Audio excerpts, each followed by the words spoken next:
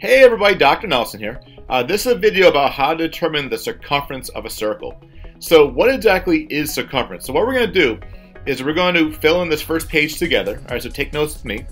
And then you have a chance to pause the video and try a problem on your own. And then when you're done, you can see how you did. Alright, so again, what exactly is circumference? Well, circumference is the distance around a circle. So, so let's write that in. So it's a the distance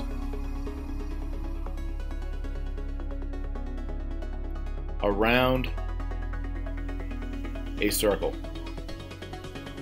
All right, maybe you've heard the term perimeter. So kind of, it's basically like the, the perimeter uh, of the circle. And what you gotta know about this is there's a formula to determine the circumference.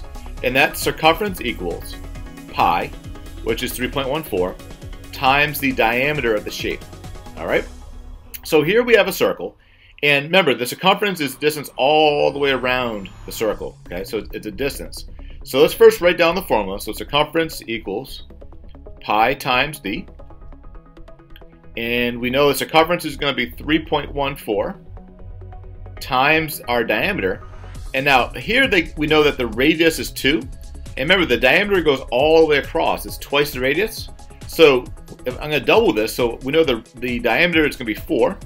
So circumference is going to be 3.14 times 4. And we get an answer of 12.56. Now, because it's just a distance, okay, the label is going to be just inches. All right, so the distance around the circle would be 12.56 inches. Um, so again, not square inches, not nothing cubed. It's just inches. All right, the second one we have another circle, and this time we they give us the diameter, right? So again, always write down the formula. Circumference is pi times d. And circumference is going to be 3.14 times our diameter. And this time, again, we know the diameter is 8, so we just plug in an 8. And when we multiply 3.14 times 8, we get an answer of 25 and 12 one hundredths.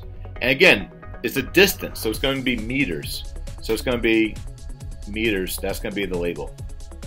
All right, so the big thing to remember about this, to find the circumference, is just the pi times the diameter. All right, so when you pause the video and try the your turn now problem, and when you're done, hit play, you can see how you did. All right, good luck.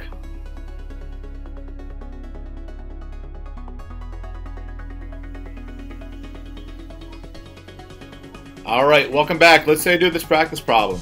So for this circle, we know the, the diameter is 22 inches. So again, it's always good to write down formula. It kind of shows your thought process.